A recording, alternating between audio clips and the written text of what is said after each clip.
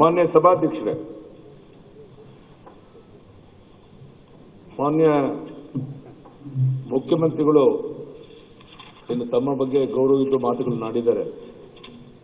ಅದಕ್ಕೆ ಸಹಮತವನ್ನು ಸೂಚಿಸ್ತಾ, ಸಾವಿರದ ಒಂಬೈನೂರ ತೊಂಬತ್ನಾಲ್ಕರಿಂದ ತೊಂಬತ್ತೊಂಬತ್ತರವರೆಗೆ ಐದು ವರ್ಷ ಕಾಲ ಸಭಾಧ್ಯಕ್ಷರಾಗಿ ಅತ್ಯಂತ ಒಳ್ಳೆಯ ರೀತಿ ಕಾರ್ಯವನ್ನು ನಿರ್ವಹಣೆ ಮಾಡಿರುವಂಥದ್ದು ಇಡೀ ನಾಡಿನ ಜನ ಗಮನಿಸಿದೆ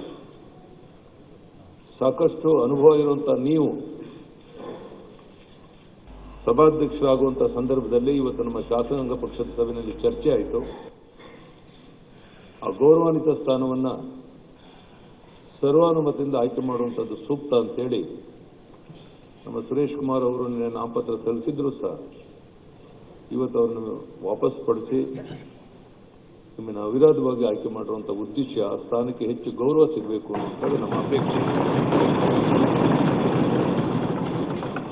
ಬಹಳ ಜನ ಹೊಸ ಶಾಸಕರು ಎರಡು ಕಡೆ ಆಯ್ಕೆಯಾಗಿ ಬಂದಿದ್ದಾರೆ ಸನ್ಮಾನ್ಯ ಅಧ್ಯಕ್ಷರೇ. ಅವ್ರಿಗೆ ಹೆಚ್ಚಿನ ಅವಕಾಶಗಳು ತಾವು ಕೊಡ್ತೀರಾ ಅವರ ಅಭಿಪ್ರಾಯಗಳನ್ನು ವ್ಯಕ್ತಪಡಿಸೋದಕ್ಕೆ. ಪ್ರಜಾತಂತ್ರ ವ್ಯವಸ್ಥೆಯಲ್ಲಿ ನಮ್ಮ ಮಾಲೀಕರು ಮತದಾರ ಅವರ ಭಾವನೆಗಳನ್ನು ವ್ಯಕ್ತಪಡಿಸಕ್ಕೆ ಬಂದಿರುವಂತಹ ಪ್ರತಿನಿಧಿಗಳು ನಾವು ಆ ಕಡೆ ಇರೋರು ಅಥವಾ ಈ ಕಡೆ ಇರ್ಬೋದು. ಒಂದು ಆಡಳಿತ ಪಕ್ಷ, ವಿರೋಧ ಪಕ್ಷ ಸ್ವಾಭಾವಿಕವಾಗಿರುವಂಥದ್ದು ಸೊ ಅದರಿಂದ ಅವರ ಭಾವನೆಗಳನ್ನು ವ್ಯಕ್ತಪಡಿಸುವಂಥ ಸಂದರ್ಭದಲ್ಲಿ ಆಡಳಿತ ಪಕ್ಷದ ಕಡೆ ಹೆಚ್ಚು ಗಮನವನ್ನು ಕೊಡದೇನೆ, ವಿರೋಧ ಪಕ್ಷದ ಕಡೆ ಹೆಚ್ಚು ಗಮನವನ್ನು ಕೊಟ್ಟು, ಹೆಚ್ಚು ಅವಕಾಶವನ್ನು ಕೊಟ್ಟು ನಾವು ಚರ್ಚೆಯಲ್ಲಿ ಭಾಗವಹಿಸೋದಕ್ಕೆ ನೀವು ಅವಕಾಶ ಮಾಡಿಕೊಡ್ತೀರ ಅನ್ನೋ ಸಂಪೂರ್ಣ ವಿಶ್ವಾಸ ಇದೆ. ಸಚಿವರಾಗಿ ಅನುಭವ ಹೊಂದಿದ್ದೀರಾ? ಸರಳ ಸಜ್ಜನಿಕೆಯ ಒಬ್ಬ ನಿಷ್ಠೂರವಾದಿ ವ್ಯಕ್ತಿ ನೀವು. ಒಂದು ಸಾರಿ ಆ ಕುರ್ಚಿಲಿ ಕುಂತಾಗ ಆ ಕಡೆ ಈ ಕಡೆ ಅಂತ ನೋಡ್ದೇನೆ ನ್ಯಾಯಯುತವಾಗಿ ಕೆಲಸ ಮಾಡ್ತಾರೆ, ಮಾಡಿದ್ದೀರಾ ಅನ್ನುವಂಥದ್ದು ಈ ನಾಡಿನ ಜನರಿಗೆ ಗೊತ್ತಿದೆ.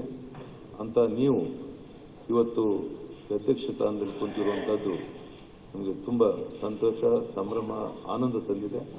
ನಿಮಗೆ ಶುಭವಾಗಲಿ. ನಿಮ್ಮ ಕಾರ್ಯಕ್ಕೆ ನಮ್ಮ ಸಂಪೂರ್ಣ ಸಹಕಾರ ಇದೆ ಅನ್ನೋ ಮಾತನ್ನು ಹೇಳ್ತಾ ತಾವು ಅವಿರೋಧವಾಗಿ ಆಯ್ಕೆ ಆದದಕ್ಕಾಗಿ ನನಗೆ ಅಭಿನಂದನೆಯನ್ನು ಸಲ್ಲಿಸಿ ನನ್ನ ಮಾತನ್ನು ಮುಗಿಸ್ತೀನಿ.